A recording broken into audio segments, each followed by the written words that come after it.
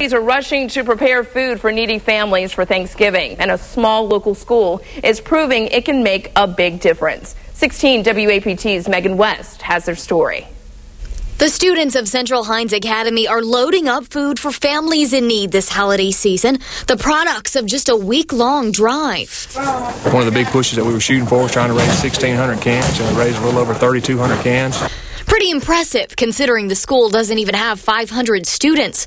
Headmaster Stephen Harrell told us students did have a little extra incentive. If they raised 1,600 cans, then instead of wearing their uniforms on Friday, we were going to let them have a blue jean day. So, uh, you know, I guess it was a loud outcry to me saying, uh, you know, Mr. Harrell, we'd like to have more blue jeans because they actually double that number.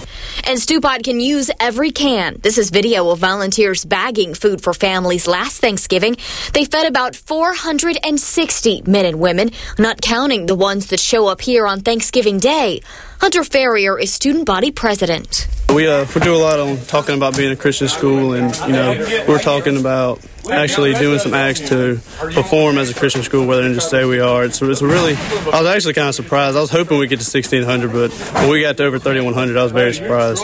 The enthusiasm of these students taught Headmaster Harrell something about his kids. As an administrator, you're always worried about the, ac- the academics, the athletics, but you know, in order for them to, to do this type of stuff, it just it says a lot about the character, it says a lot about them, and to me, that has a whole lot more meaning than just you know academics and athletics. The Central Hinds students hope they inspire other schools. No group is too small to make a big difference. Reporting in Jackson, Megan West, 16 WAPT News. Local charities say they still need food and money. Right after Thanksgiving, they began preparing Christmas baskets for the needy.